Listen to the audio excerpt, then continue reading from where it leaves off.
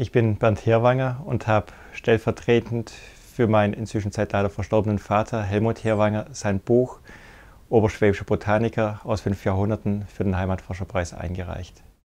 Helmut Herwanger recherchierte über zehn Jahre intensiv das Leben und Werken von 180 Botanikern und fasste diese in seinem Buch zusammen.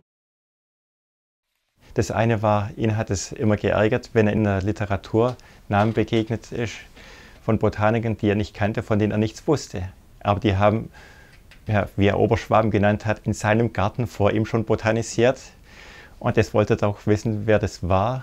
Und deswegen hat er sich auf den Weg gemacht und die Lebensdaten von denen zusammengetragen, in welcher Situation sie gelebt haben, also auch den ganzen geschichtlichen Hintergrund, was sie beruflich gemacht haben und was sie dann tatsächlich für die Botanik geleistet haben hier in Oberschwaben.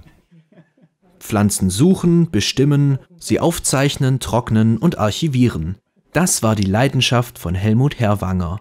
Begeistert von der Schönheit der Natur kartierte er in mühevoller Kleinstarbeit die Botanik von der Iller bis ins Hegau und vom Bodensee bis an die Schwäbische Alb.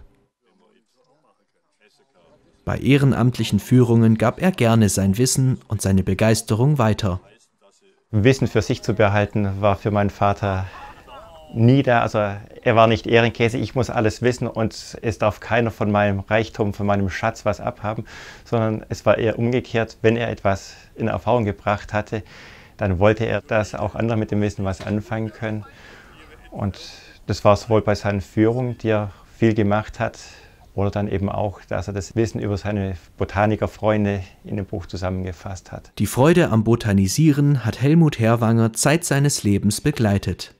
Als Pensionär konnte er sich dann leidenschaftlich seinem Hobby widmen. Als er dann kurz vorm Ruhestand war, hat er sich wieder intensiver mit der Botanik beschäftigt und vor allem dann, als er im Ruhestand kam, war eigentlich im Unruhestand. Wenn man versucht hat, ihn anzurufen, war er immer in der Botanik und nie zu erreichen.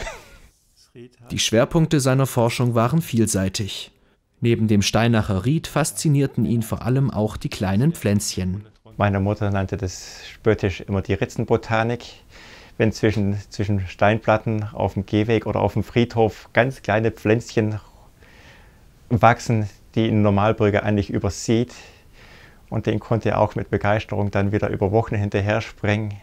Ihm war es eigentlich wichtig, äh, auch in die Gebiete zu gehen, wo viele einfach übersehen, weil es sind nicht die großen, prächtigen Blüten, nicht die Orchideen, die, die jedem gefallen, sondern er hat auch die Schönheit in den kleinen Pflanzen gesehen und gesucht.